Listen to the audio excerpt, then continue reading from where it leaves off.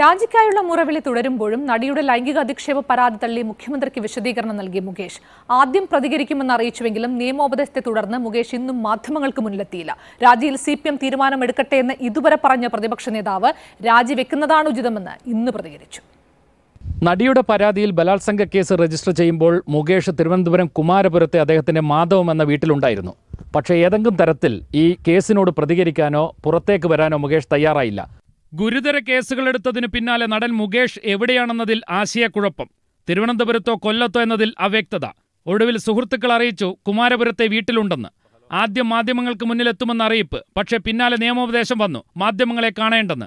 അതോടെ വീണ്ടും കാണാമറിയത്ത്. കേസെടുക്കും മുൻപ് ഇന്നലെയാണ് മുകേഷ് മുഖ്യമന്ത്രിക്ക് വിശദീകരണം നൽകിയത്. പരാതി ശരിയല്ല നടിയെ നേരത്തെ തന്നെ അറിയാമായിരുന്നു. നടി ബ്ലാക്ക്മെയിൽ ചെയ്യാൻ ശ്രമിച്ചതിന്റെ വാട്സാപ്പ് സന്ദേശം തന്റെ കയ്യിലുണ്ടെന്നും മുകേഷ് മുഖ്യമന്ത്രി അറിയിച്ചു.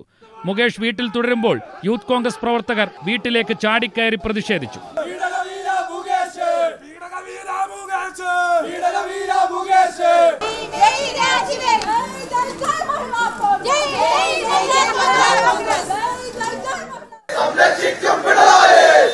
ക്ലിഫ് ഹൗസിലേക്കും യുവമോർച്ചയുടെ മാർച്ചുണ്ടായി. പ്രതിഷേധക്കാർക്ക് നേരെ പോലീസ് ജലപീരങ്കി പ്രയോഗിച്ചു.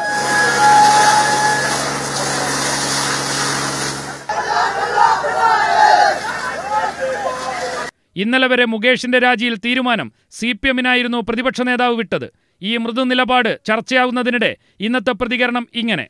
മുകേഷ് രാജു തീരുമാനം എടുക്കേണ്ടത് ആരാന്നാണ്? തീരുമാനം എടുക്കേണ്ടത് മുകേഷും മുകേഷ് പ്രതിനിധാനം ചെയ്യുന്ന പാർട്ടിയായ സി പി എമ്മുമാണ്. ആണ് സമാന കേസുകളിൽപ്പെട്ട കോൺഗ്രസ് എം എൽ എമാർ നേരത്തെ രാജിവെക്കാത്തതാണ് ഇപ്പോൾ കോൺഗ്രസിനെ വെട്ടിലാക്കുന്നത്. ഏഷ്യാനെറ്റ് ന്യൂസ് തിരുവനന്തപുരം.